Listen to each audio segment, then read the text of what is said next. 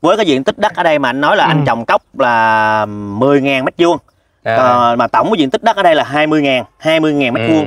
Thì mà với cái cái địa cái địa lý ở đây là nó thuộc về thành phố Hồ Chí Minh là cái vùng à, ở khu vực Củ Chi.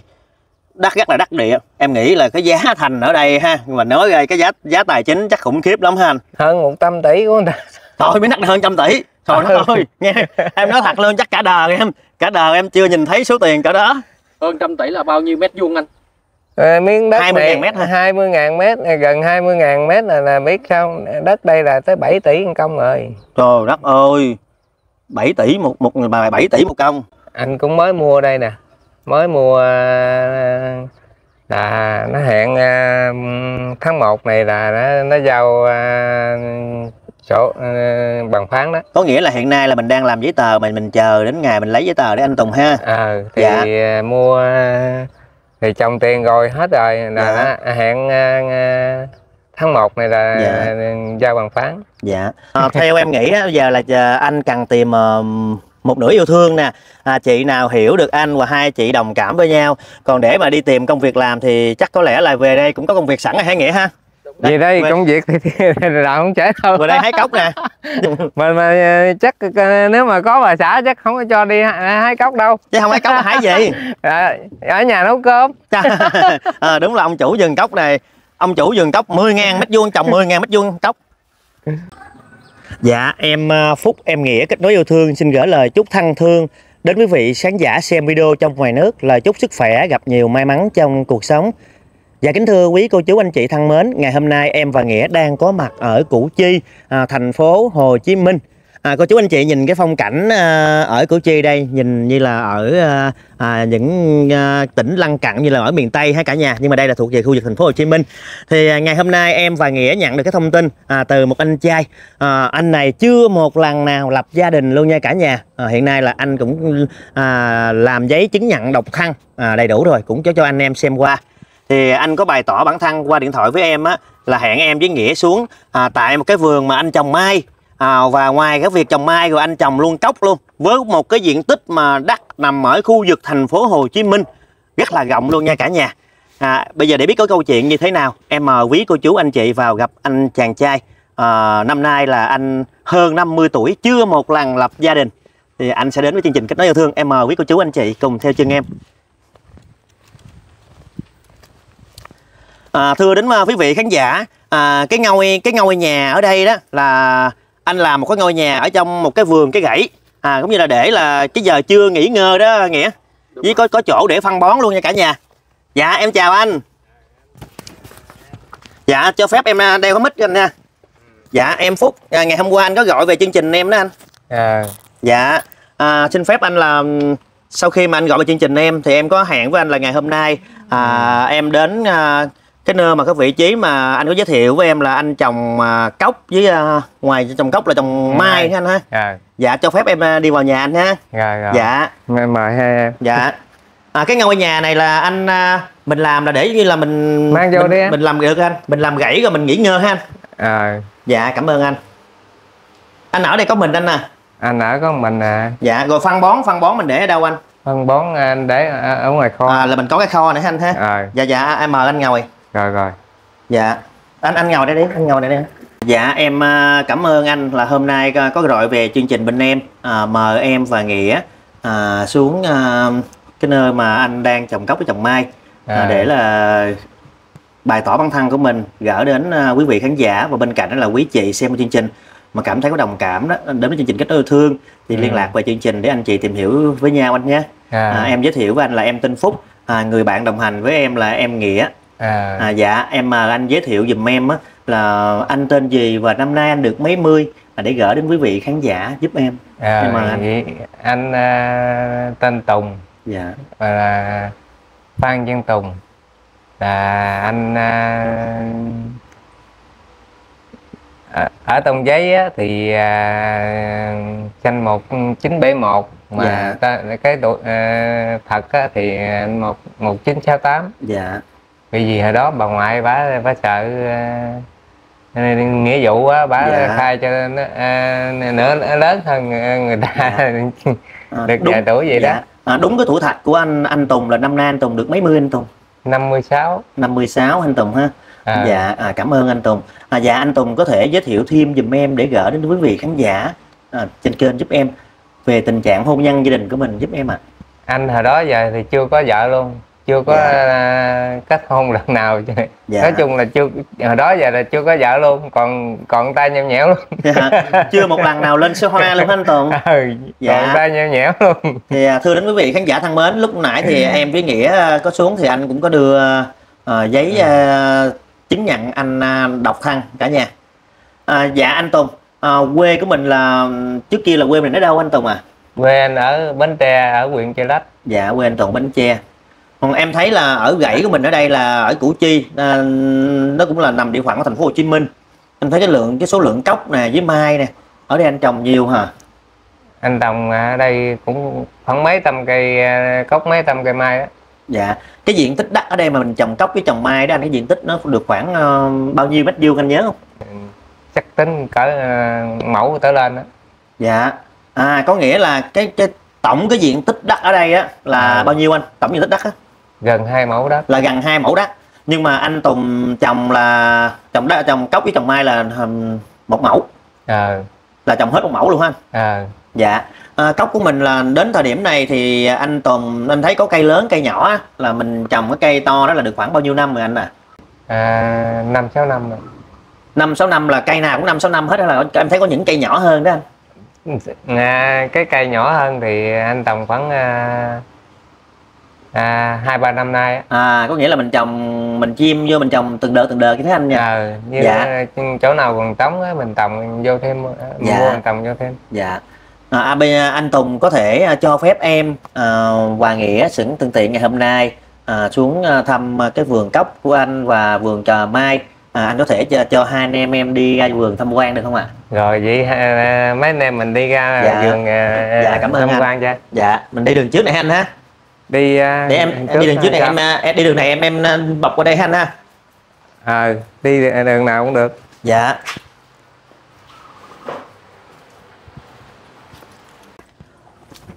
Cái này cái cốc này là loại trái to hay trái nhỏ anh?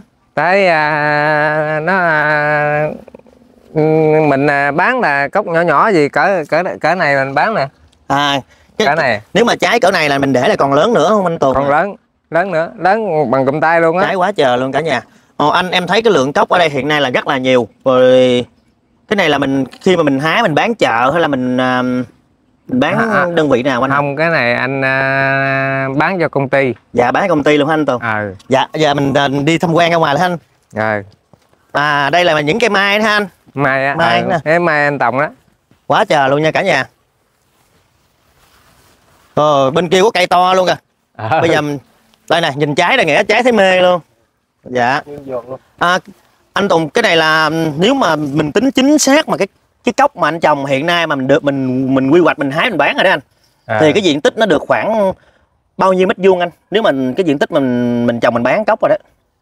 Thì à, 10 ngàn mét vuông á. 10 ngàn mét vuông đã là mình trồng mình bán ra trái quy hoạch rồi đó anh ha. Ờ rồi quá trời luôn nè có những cây bên đây em thấy to quá là anh cắt ngọn ha. Ờ cắt ăn cho nó Dạ. à, xuống để mình nó cao quá cái mình à, hái nó khó để mình cắt vậy đâu vậy xuống à, Dạ. cho nó à, quá trời trời cây cây bên đây cây to đê luôn. Này cái gốc nè Anh thấy cái gốc rất là to luôn. Dạ rồi trái nè. Ờ, anh Tùng nếu mà cái cốc này cái thời điểm mà anh à, mình bán đó anh là khoảng bao nhiêu ngày là mình hái một đợt anh? À, một tuần anh hái một đợt. À, một tuần hái một đợt là một tháng mình hái bốn lần. À, ờ Dạ. tuần, tuần hái một đợt ừ. à, anh Tùng có thể chia sẻ thêm giùm em đó hiện tại giờ là cái công việc hàng ngày ngoài cái việc mà mình à, trồng cốc với chờ mình trồng mai mình bán mai thì mình bán tết còn cốc là bán à, bán hàng tuần anh ha ờ Rồi mình có làm thêm công việc gì không anh không cái này anh làm à, chỉ có cốc à, với mai không à Dạ. Thì à, lúc nãy anh Tùng có chia sẻ với em là năm nay là anh à, 56 tuổi. À, để anh Tùng tìm một nửa yêu thương đó, anh có thể chia sẻ giùm em. À, anh tìm một chị mà phù hợp, một chị mà phù hợp với mình cái độ tuổi khoảng bao nhiêu để phù hợp với anh, anh thể chia sẻ giùm em ạ. à, thì à, ừ, cỡ à, chẳng anh tới à,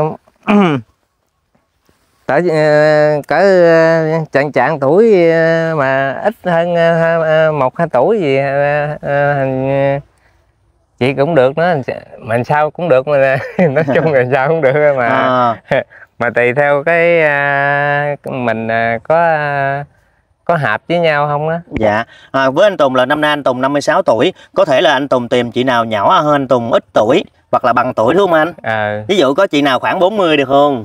40 nhỏ quá không được. 40 nhỏ quá không được ha. Vậy là từ bốn mấy đến khoảng 56 ha anh Tùng ha. Ờ. Dạ, thì hiện nay là anh Tùng là cái việc của mình là mình trồng gãy rồi mình tìm một người bạn của mình đó là anh thích là bạn của anh đi làm công ty hay là định đi về đây sau này là cùng với anh trồng gãy trồng cốc trồng mai à?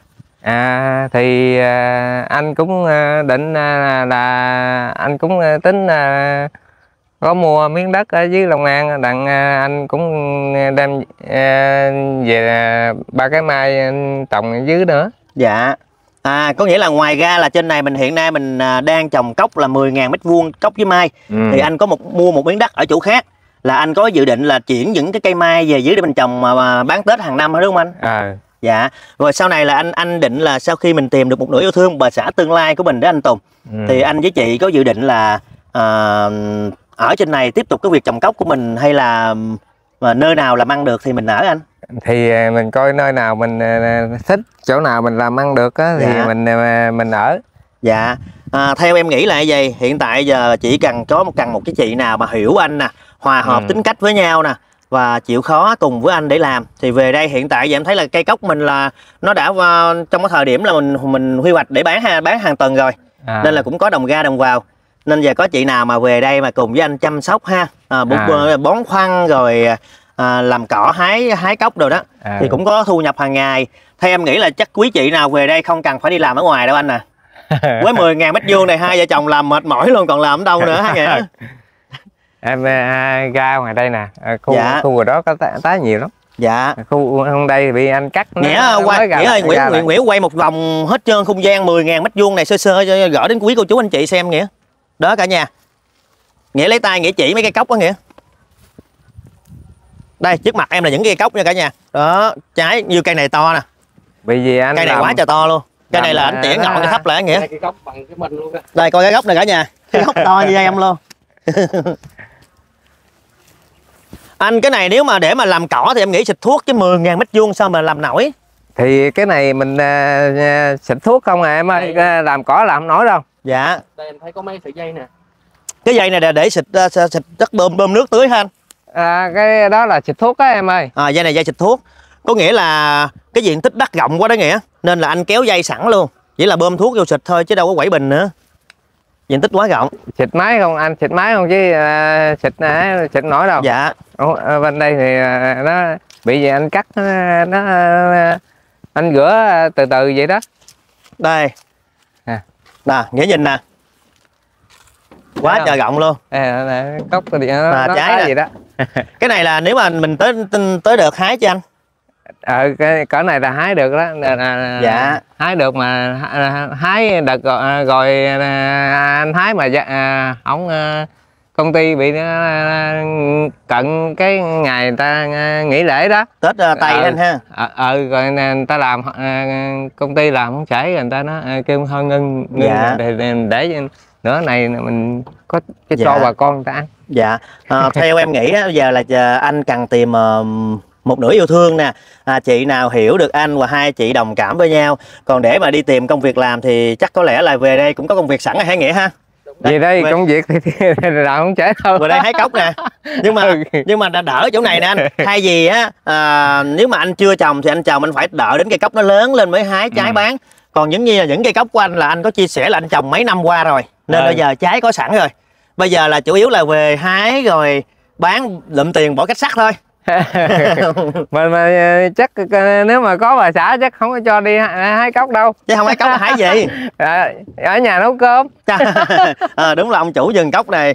Ông chủ vườn cốc 10.000 mét vuông trồng 10.000 mét vuông cốc à, em thấy lúc nãy ở trước có những cây mai rất là đẹp luôn anh Tùng. À, thì à, anh có thể chia sẻ giùm em đó sau khi biết tại vì Tết đó là thường thường là đa phần là quý cô chú anh chị là hay trưng mai đó anh.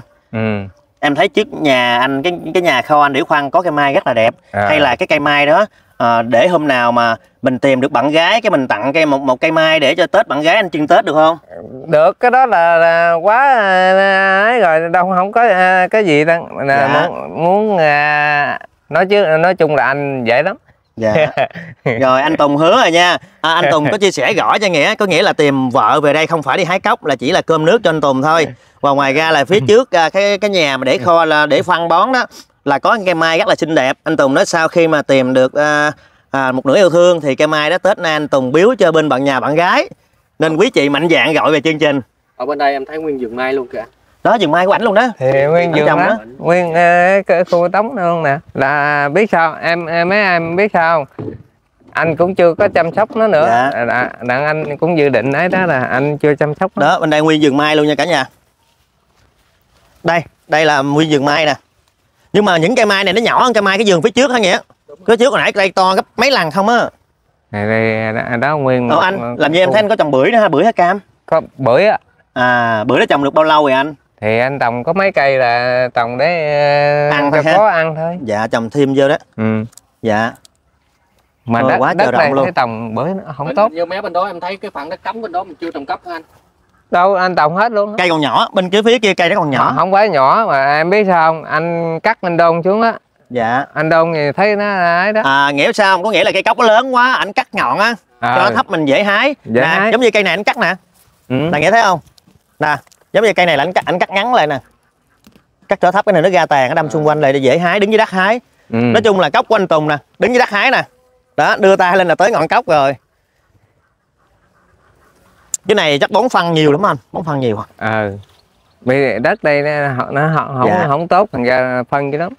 Dạ. À, Phân dạ anh Tùng á. ơi à, thông qua video à, ngày hôm nay anh Tùng có đôi lời gì là à, gửi đến quý chị dùm em à, sau khi xem chương trình à, để quý chị à, liên lạc về chương trình anh với chị à, có cho nhau cái cơ hội để à, tìm hiểu một nửa yêu thương đó anh Ờ, Em mời anh chia sẻ giùm em. à, thì anh cũng à, đang à, sống à, tụi em á, là anh cũng nhờ tụi em đang kiếm cho anh được à, một người để à, à, mà bầu bạn à, Dạ. đặng mình à, làm ăn đặng, tối hôm à, có nhau đặng à, hữu Dạ. hỷ với, với cùng nhau.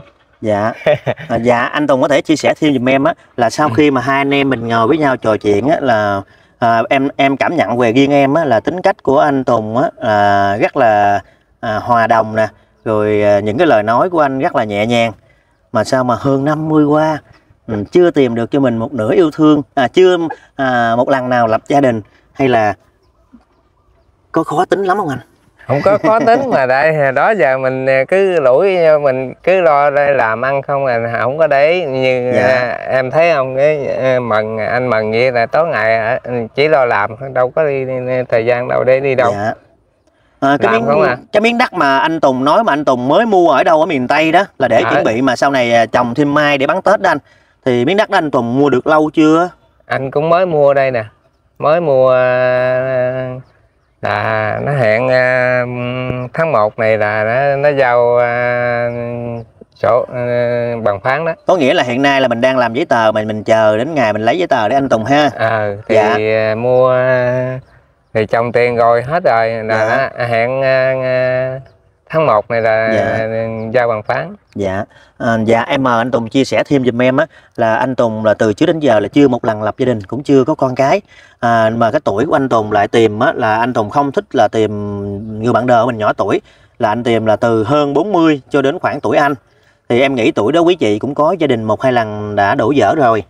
Thì với cái nguyện vọng của anh Tùng á là anh Tùng tìm một chị là chưa có con từ trước đến giờ như anh Tùng hay là đã đổ dở hôn nhân gia đình anh không mà cái cái duyên nợ thì tuổi này thì nó cũng phải à, người ta cũng phải có đổ chia đổ à, đổ dở hay đổ dở rồi mà đổ dở cũng không sao mà đều à, con á thì à, thí dụ như con cái ai cũng vậy là mình thương nó thì nó thương mình thôi. Ờ, quý quá. Ờ, nó thương mình thôi à, chứ không có gì. Mà đừng có quậy quá quậy quá chắc Chịu không nổi. chịu không nổi. Dạ.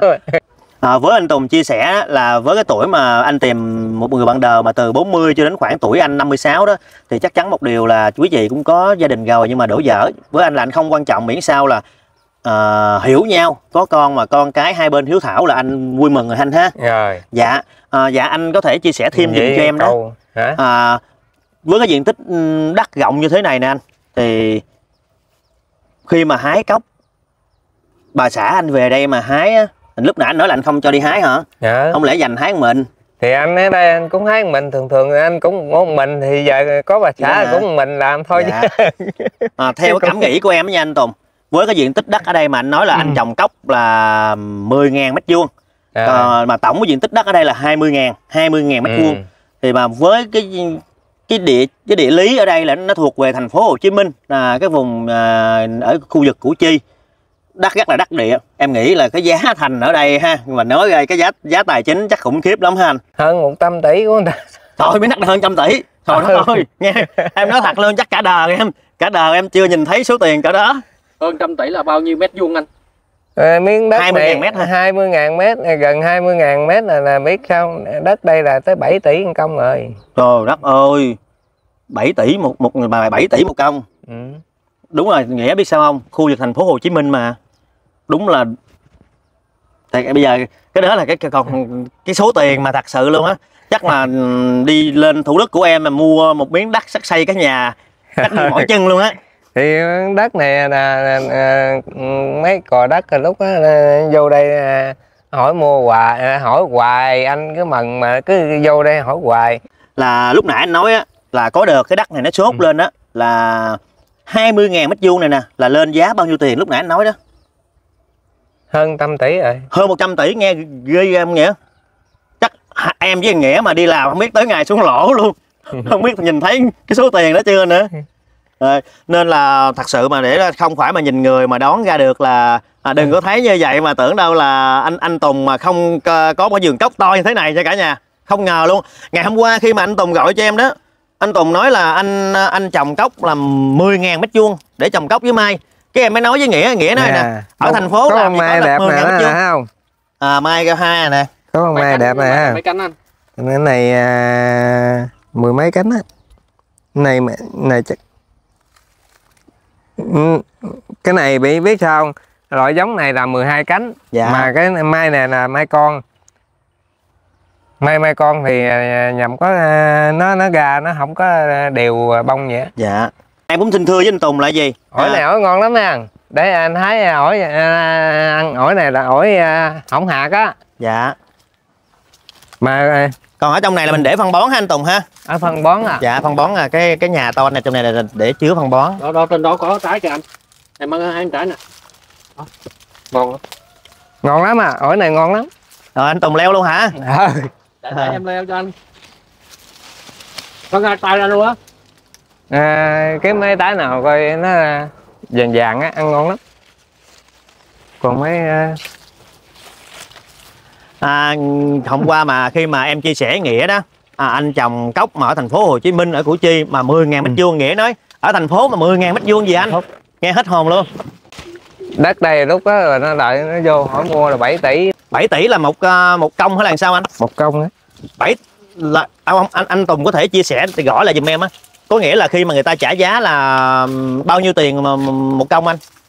Là 7 tỷ á. 7 tỷ một công. Ờ. Mà ở đây là hà- 20 công. Ừ.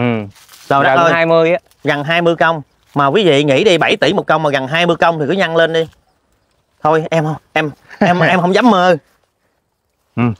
dạ. À, em cũng xin thưa với anh Tùng là gì? Thông qua chương trình ngày hôm nay em cũng hy vọng là sau khi em đăng trên cộng đồng mạng hy vọng là quý chị xem qua chương trình à, gọi về Ừ. chương trình anh em sẽ làm nhịp cầu nối để anh chị có thời gian tìm hiểu nhau ừ. à, anh Tùng ơi anh Tùng có đồng ý cho em sử dụng hình ảnh của anh ngày hôm nay đăng trên cộng đồng mạng không ạ ờ anh đồng ý Dạ, em thưa với anh Tùng là gì? À, em và Nghĩa hai anh em của em chỉ là nhịp cầu nối kết nối yêu thương thôi. À, ngay sau khi em đăng video anh, nếu mà chị nào mà đủ duyên liên lạc về chương trình, anh chị à, tìm hiểu với nhau. Nếu tìm hiểu mà cảm thấy đủ duyên thì à, anh chị tiến sâu hơn. Còn cảm thấy không đủ duyên thì xem như cái video ngày hôm nay mình chia sẻ, mình lưu lại những cái kỷ niệm để sau này những cái khoảnh khắc mình rảnh rỗi mình xem lại anh Tùng nha. rồi rồi Chứ bên em không dám hứa là lên chương trình bên em là sẽ được theo mãn nguyện của bên mình. rồi, và rồi. ngay cái buổi đầu tiên anh Tùng chịu trách nhiệm giùm em á từ đây về sau cũng như là sau khi mà đăng video đó anh Tùng cũng như là tìm hiểu về à, họ hàng hai bên à, cái người bạn đối phương của mình Ừ. trong thời gian mà quen nhau anh Tùng mà trao tặng tiền hay là anh chị gì đó trao tặng quà cáp tài chính gì đó à, thì đó là cái hai anh chị tự quyết định chứ bên em không hoàn toàn chịu trách nhiệm tất cả các khoản về sau anh nhé rồi rồi rồi anh Dạ, có lẽ là thời lượng video đến đây một lần nữa em Phúc, em Nghĩa xin tạm khép lại chương trình. Cũng xin kính chúc quý khán giả xem video ngày mới an lành và hạnh phúc. Quý chị xem chương trình à, để mà cảm thấy bài tỏ của anh Tùng ở đây à, hợp với mình, liên lạc về số điện thoại trên màn hình anh em hỗ trợ à, quý anh chị để có cái thời gian tìm hiểu nhau. Dạ xin chào và hẹn gặp lại quý vị thân thương video tiếp theo ạ. Dạ em xin chào.